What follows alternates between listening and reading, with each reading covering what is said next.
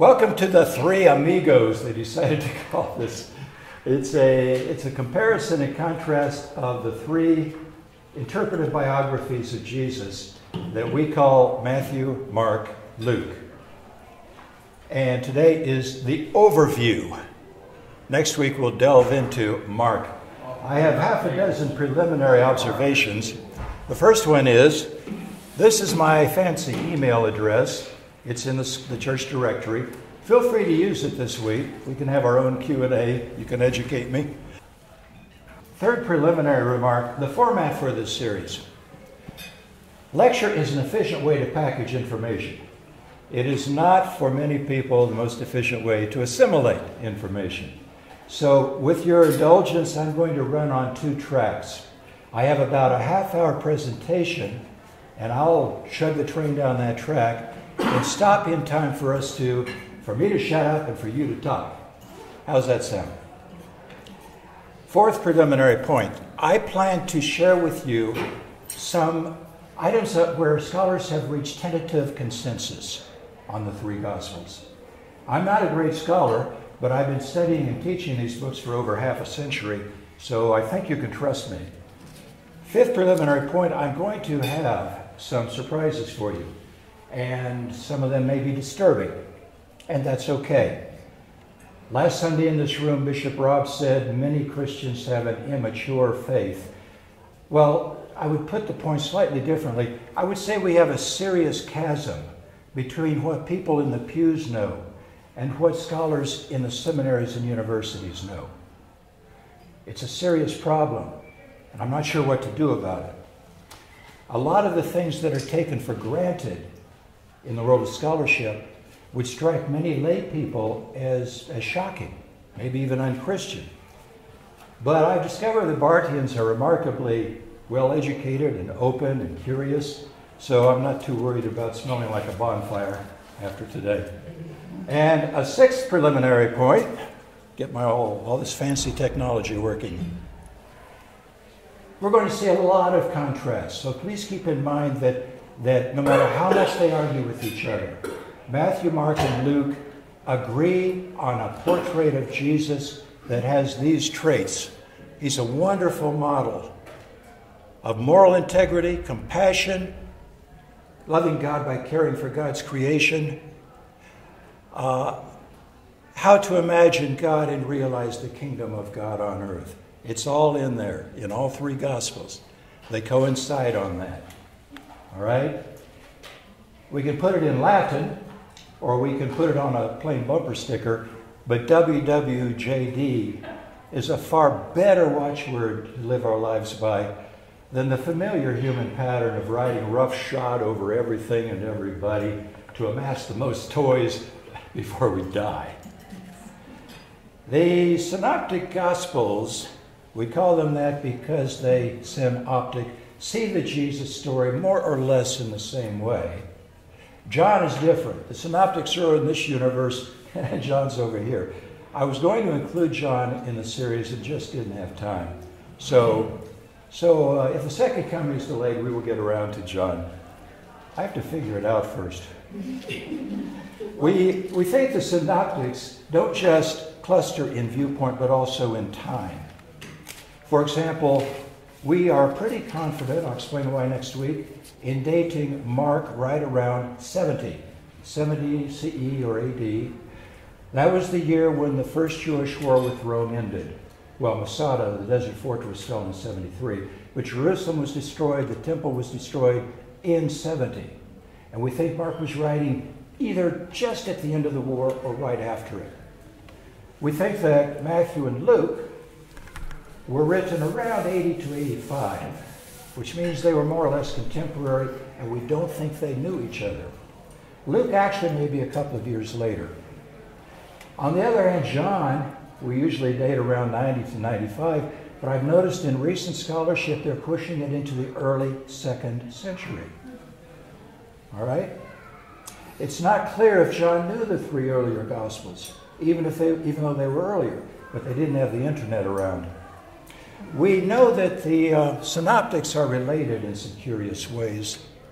You've probably seen this sketch or something like it. In the 19th century, scholars came up with what they called the two sources hypothesis. They said Matthew and Luke drew heavily on Mark and on a written gospel we no longer have that we call Q from the German Quelle source. We don't have this source. It was strangely a, it was a curious gospel. Apparently, it had no narrative parts. It was just a, a Bartlett's. It was a list of familiar quotations, logia from Logos, Jesus sayings. Uh, there are passages in Mark and Luke that run word for word in the Greek. But as I said, we think they didn't know each other. Thus, the necessity for Q. In the 19th century, many scholars were skeptical of the theory because, as I say, we don't have it. Good, good objection.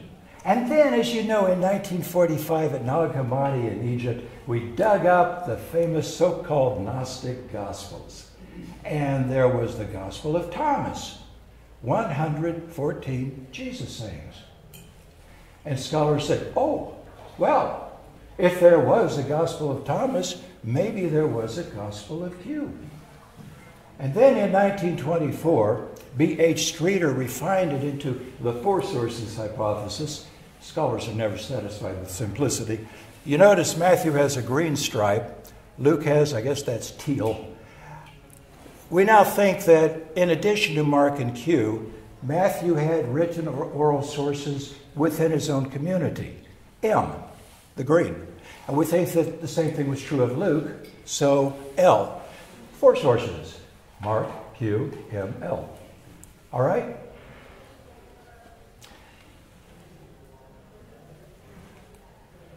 Scholarship, I said a moment ago I would share some areas where we have tentative consensus. I have to word it that way because, as you know, in any field, scholarship is always a moving target. It's a matter of provisional knowledge. And, um, and it usually moves very slowly meticulously building on what has gone before. But sometimes we have abrupt upheavals, what Thomas Kuhn taught us all to call paradigm shifts, right? If you think about Darwin's Origin of Species in 1859, what that did to the field of biology, or I mentioned a moment ago the, the Gnostic Gospels. The Gnostic Gospels, over the next oh, three decades, revolutionized what we had thought about early Christianity. In fact, scholars now are talking about early Christianities. What the Gnostic got, they're not that important in themselves. We looked at about 24 of them in this room last year, right? Took us for four sessions. They may not be that important in themselves, but, but they help to make us realize just how diverse early Christianity was, and just how successfully the emerging proto Orthodox church stamped out all that variety. Uh, we know now that the proto Orthodox party triumphed because they had a wonderful strategy of clergy, creed, and canon. My lecture last year on the three C's is still available on the YouTube channel, so I'll just refer you to that. I could and should have mentioned the fourth C, of course. It wasn't part of the plan, but it made a huge difference. When Constantine decided to reverse the pattern of emperors not liking Christianity, and threw the emperor's support behind the bishops of the emerging proto Orthodox Church, well, that was pretty big. That was pretty big. Const- uh, paradigm shifts are always controversial at first. And I'm talking about Constantine, this particular paradigm shift that we call Nicaea, uh, it was horribly controversial even among members of the Proto Orthodox Party. Next time you're saying it in, in church, think about that. Uh, it took things like, like Chalcedon in 451, Constantinople II in 553, before it became established. Nicaea was 325, 553, yes, Proto Orthodox Christians fought for over two centuries before they gathered around the flag. Interesting. And the party line claimed that the Proto Orthodox, the Nicene Church, had the one true story about Jesus, which had been believed everywhere, always by everyone. It was a lie, of course. But if you tell a lie often enough and insistently enough, you take a lot of people along with you.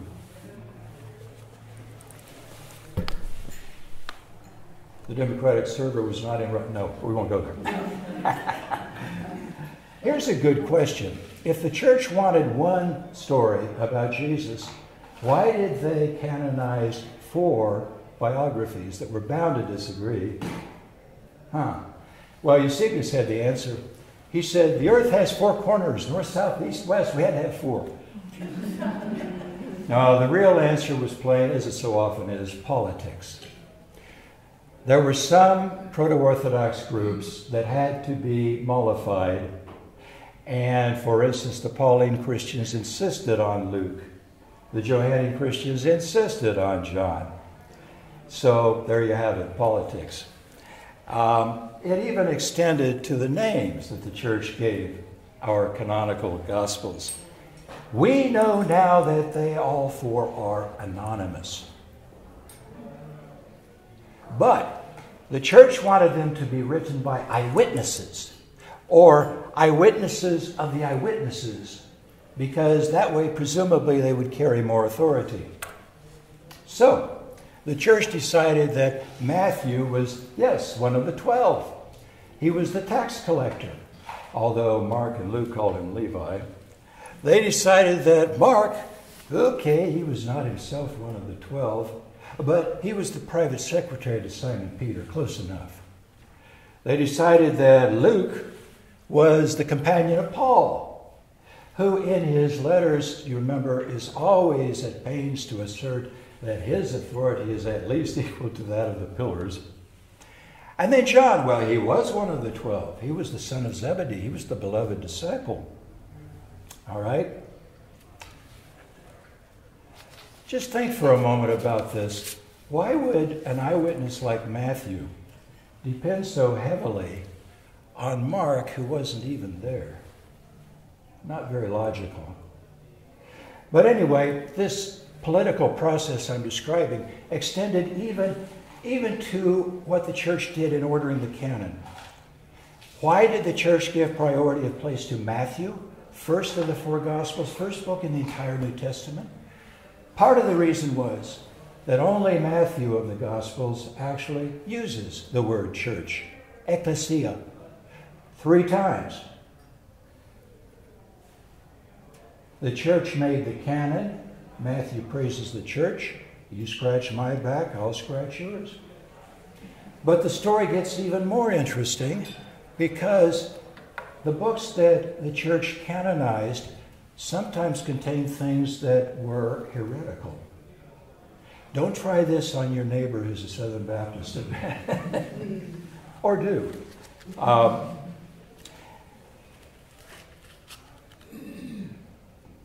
I, I have to do a quick digression for you.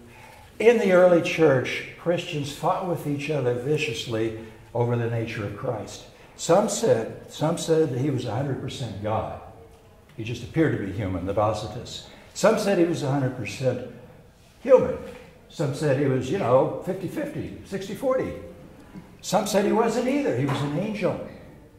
And many early Christians probably, you ready? Probably all of the very earliest followers of Jesus started out as adoptionists. Jesus was human, and then something happened.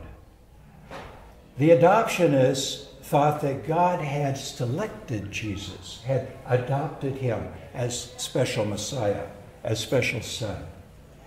And, um, and the church later decided that adoptionism was a heresy. You remember the prologue to the Gospel of John. But by that point, these books were, were already pretty well established in the canon, so the church was stuck.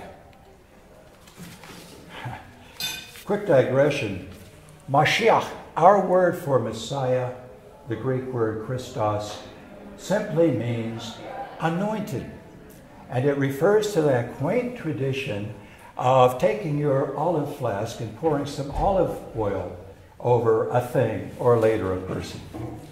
Uh, meaning, God has selected this place, this thing, this person for some special purpose. And there are many messiahs running around the Hebrew Bible. Every individual Israelite male. Sorry, ladies. Corporate Israel, the kings of Israel, even Cyrus, the pagan king, God adopted him, anointed him to enable them to come back from exile. Uh, there's a synonym in the Hebrew Bible. Messiahs were also often called sons of God. And there are lots of those running around the Hebrew Bible. Um, even the angels are called sons of God. But notice something interesting. None of these Jewish messiahs or sons of God was divine. These were human beings that God had anointed, had adopted for some purpose. Our notion of Son of God is part of the part of the, the Trinity. Nicaea was 250 years in the future. Words change meaning over time. And what's worse is that our convention is to capitalize words like Holy Spirit, Son of God in our Bible translations. The Greek did not have that distinction between lowercase and capital. And can you imagine how many bonfires there would be if, if some modern translation came out that did not capitalize Son of God or Holy Spirit? okay, so that's the end of the digression. Now, here's the shocker. We think that Paul was an adoptionist, he was a heretic. So was Mark. So was Luke. This is the first sentence in Romans. It is a monstrosity. I wish I could have taught English to Paul. This thing, it's a marathon that goes forever. So, what I did was to bold the key words for you. Paul says that Jesus descended from David according to the flesh. Got it? He was born the same way you or I were. And then God changed the situation. God anointed him, adopted him. When does Paul think it happened? He was declared to be Son of God, Messiah, by resurrection from the dead. Scholars are always pointing out that Paul has a resurrection Christology, which helps us understand why Paul almost never says anything about the, the deeds, the life of Jesus, the teachings. Everything for Paul is death and resurrection. This is the beginning of Mark. There is no virgin birth in Mark. Mark says the beginning of the good news about Jesus, the Messiah, Son of God, happened at the baptism. And he came up out of the water. He saw the heavens ripped, uh, the heavens ripped apart, and God's Spirit descending like a dove on him. The revised, New Revised Standard Version is often dead wrong. This is a bad translation. The Greek says the Spirit descended into him. Mark and Luke later toned that down. It descended on, first on his shoulder, maybe. But Mark gives you something like the opposite of demonic possession.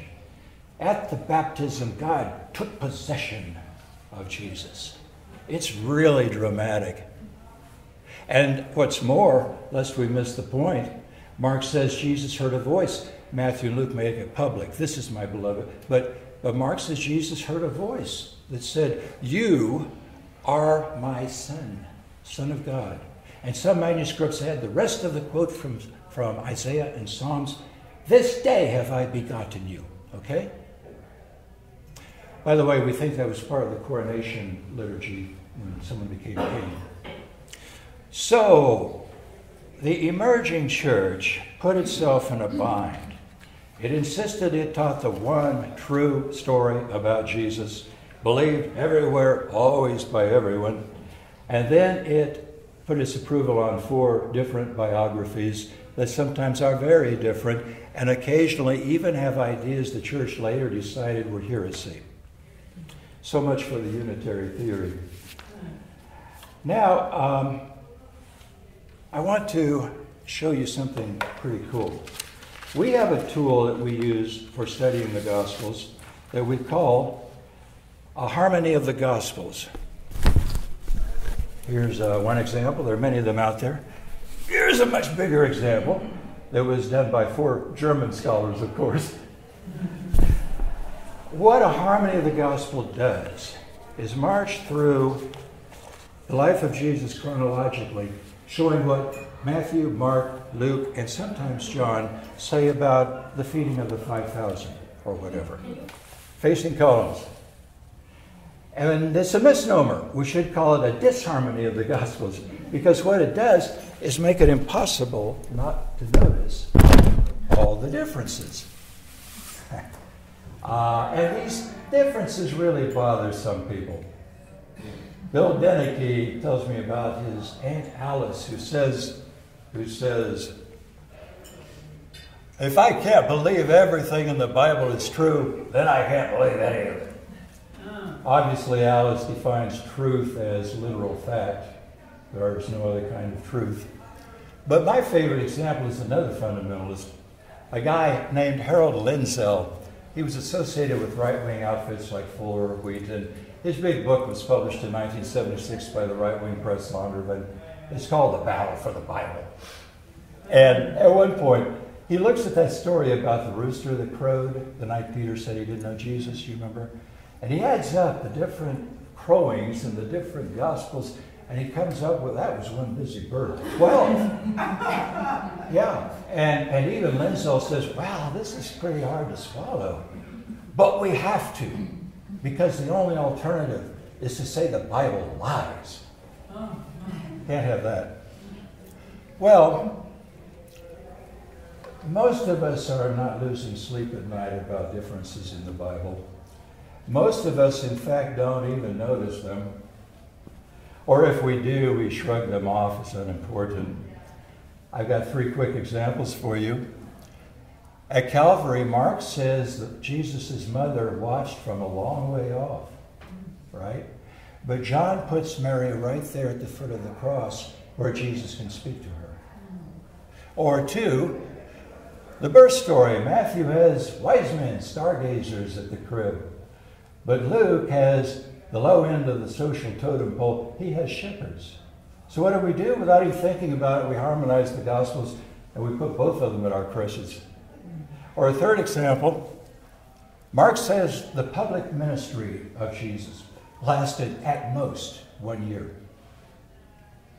But John says it was three years because three different times Jesus takes his disciples to Jerusalem for Passover.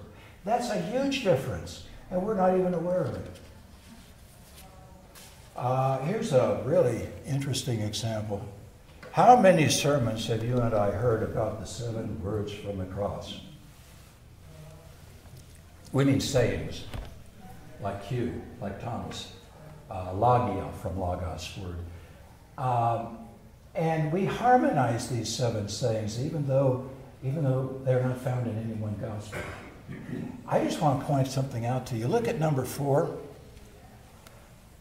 The famous cry of dereliction. Mark says Jesus' last words were the heart wrenching, My God, my God, why have you forsaken me? Now look at number seven. Luke says his last words were the calm, confident, trusting, Father, into your hand I commend my spirit.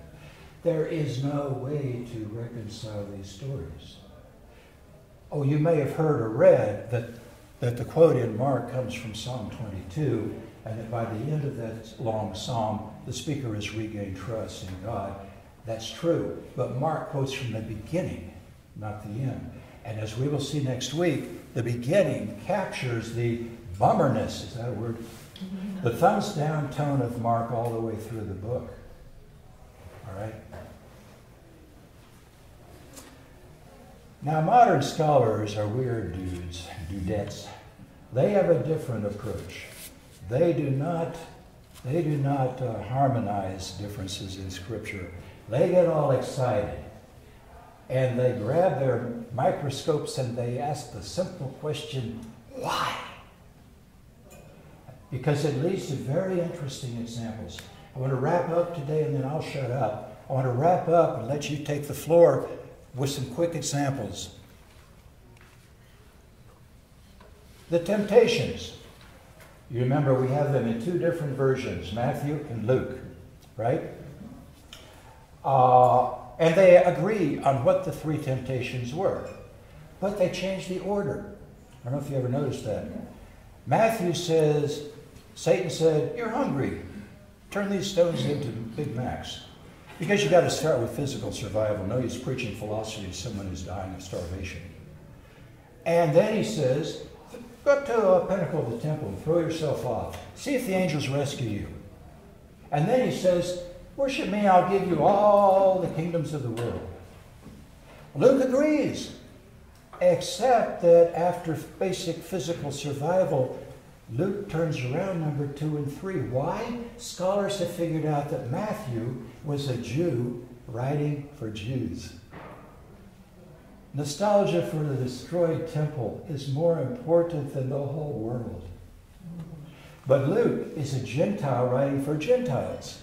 What's more, he's a universalist, he's a cosmopolitan. He's at home in the cities of the world. And so for him, yeah, the temple, this is a shame we lost it, but, but all the world? Very interesting, this difference. Um, second example everybody knows that Jesus met a rich young ruler. No, he didn't. Mark calls him a man, Matthew calls him a rich young man. Only Luke says he was a ruler. But even more interesting is to look at the setup for these three stories. Mark says, as Jesus started on his way into Hodo, we'll talk about that next week. As Jesus started on his way, a man ran up and knelt before him. Good teacher, what must I do for salvation? And Jesus said, Why do you call me good? There's none good but God. Luke follows his source, Mark, almost word for word. Word. Good teacher, why do you call me good? But look what Matthew does. People wouldn't even notice this. He simply moves the location of the adjective. Teacher, what good deed must I do to be saved? And Jesus has a totally different answer obey the commandments. Why? Scholars ask. Because again, Matthew is a Jew. More than that, he's a very devout Jew. And for Matthew, oh, if I move good, that gives me another opportunity to hammer my constant theme the importance of Torah. You see? Here's another example. Mark and his Jesus talk about the kingdom of God. Matthew and his Jesus call it the kingdom of heaven. And you and I say, okay, big deal, shrug it off. Uh uh uh uh. Scholars point out that Matthew was not just Jewish, he was devoutly Jewish. I used to have students from time to time at Westminster who would not write out the word God. It would be G hyphen D. Or in my New Testament classes, if they were writing about Yahweh, it would come out, we call it the sacred tetragrammaton, YHWH. If you have a word that lacks vowels, you cannot pronounce it. And for Jews like Matthew, they're skittish about saying the sacred name. Mark, if Mark was Jewish, he's Jewish like my Southern Baptist neighbor who loves his beer. He wasn't all that Jewish. all right. Another example the Beatitudes. Again, we have them in Mark, uh, in Matthew, and we have them in Luke. But in Matthew, Jesus says things like, Blessed are the poor in spirit. Blessed are those who hunger and thirst after righteousness. Whereas Luke just says, Blessed are the poor. Blessed are the hungry. And scholars say, Huh, why? And the answer is they find that Matthew is preoccupied with the theological virtues, things like patience or humility, being poor in spirit. Whereas Luke is the patron saint of soup kitchens and homeless shelters. Very significant difference. A final example genealogies. Again, we have them in two different versions Matthew and Luke. And they both trace Jesus back to David. But I also, from time to time, would have students at Westminster who would twist themselves into logical pretzels trying to reconcile these two genealogies. um, Luke says Joseph is the son of Heli back to David by way of Nathan. But Joseph, Matthew says Joseph is the son of Jacob, back to David by way of Solomon. Good luck with the logical pretzel. More to it than that. Matthew stops tracing Jesus' ancestry when he gets to Abraham, father of the Jews. But the universalist, the Gentile Luke, he goes all the way back to Adam, father of us all. And one more point gematria, the SAT word for the day. Use it three times this afternoon, you'll have it forever. gematria simply means number symbolism. Uh, a lot of people are superstitious about numbers. Think of all the elevators you've been in that didn't have a 13th floor. Uh, but Gematria takes an, an, a language's alphabet and turns it into numbers. So in English, A is 1, B is 2, C is 3, that type of thing. If you do that with the Hebrew alphabet, you find that the abbreviation for David, DWD, adds up to 14. And Matthew divides Jesus' ancestry into three sets of 14. He even has to miscount on one of them. Look at it. Three, of course, the basic mnemonic aid. 14, Matthew wants to remind us, even indirectly, that Jesus is a Davidid. He's a son of David. It's important for Matthew that Jesus is king of Israel. So, these are not literal family trees, they're, it's poetry. They're making theological arguments. All right. I, uh, I think we can stop the train. Thank you for putting up with me.